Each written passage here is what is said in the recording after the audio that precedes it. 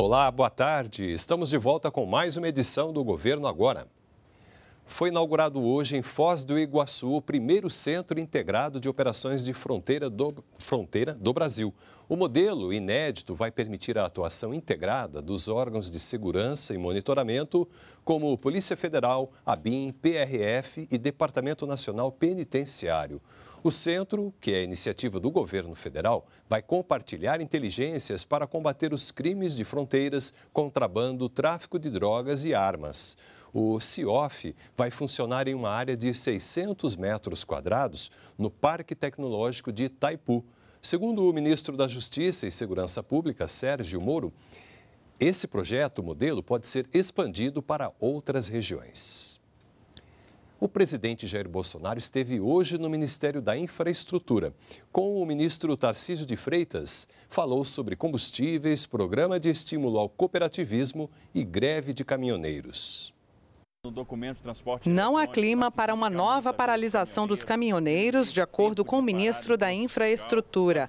Ao lado do presidente Jair Bolsonaro, ele disse que o diálogo do governo com a categoria é frequente e vem rendendo medidas como a redução da multa na balança de 5 mil para 500 reais e a criação de postos de paradas nas rodovias. Não está tendo nada nas estradas, não houve nenhum ponto de bloqueio, porque há um respeito muito grande nosso com os caminhoneiros e um respeito muito grande dos caminhoneiros com a gente. Conseguimos realmente estabelecer um diálogo, eles sabem que tem as portas abertas e a cada dia a gente constrói uma solução nova. O ministro anunciou a publicação da resolução que trata do código identificador da operação de transporte e o lançamento, em breve, do programa Roda Bem Caminhoneiro. É um estímulo ao cooperativismo, que é uma saída também para especialização, para compra coletiva. Então a gente está indo muito bem nessa agenda do caminhoneiro. Ainda no encontro, a malha ferroviária brasileira foi destaque. Bolsonaro disse que os recursos para a reestruturação do setor já foram prometidos. Nós temos grande interesse